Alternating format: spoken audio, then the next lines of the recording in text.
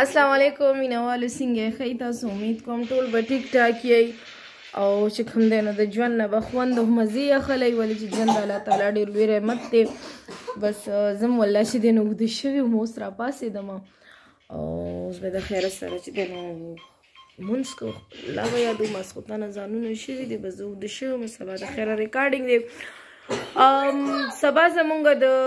ډرامې ریکارډینګ دی د کومې وینډ اپ دی د خیره سره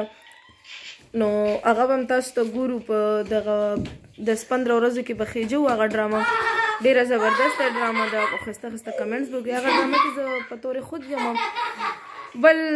لږ شان د سکرین نه اوټ شوی منو سو مصروفیات زیات شوي دي کارونه زیات دي دی په وجه باندې او کوم چې دی نو غانو ریکارډینګونه دی بس نن سبا سو کوسنه چې تاسو ما په ټیک ټاک باندې ویډیو کړې دم غيو غزل دا وکړ لړې زبردست ډېر خولي او هغه غزل بچ دی تاسو ته ملاویږي نو په جی کې پروډکشن باندې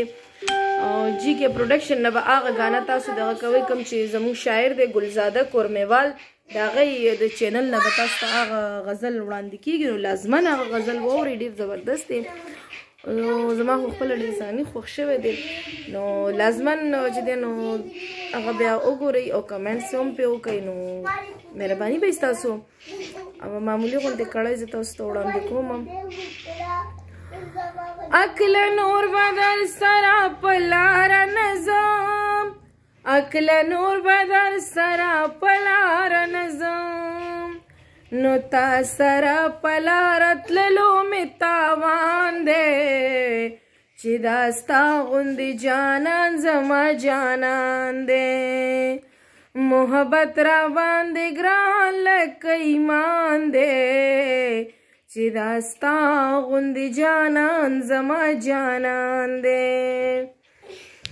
او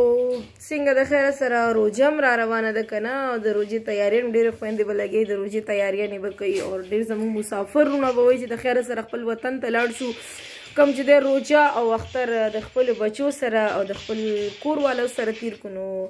موږ هم وله د زړه نه هرکلی وایو چې الله په خیر او خوشحالو راوله ولې چې مسافر وروڼه چې کوم دي که نه نو دا ډېر ګران دي خاص کر شکیبې ته ډېر زیات ګران دي او کم چې دی نو زمونږ به ډېر داسې خویندې هغې به لګیا وي څوک به کمرو سیټینګ کوي څوک به چې دی د کچن سیټینګ برابروي څوک به د پښمنو دپاره لګیا وي تیاریانې کوي که نه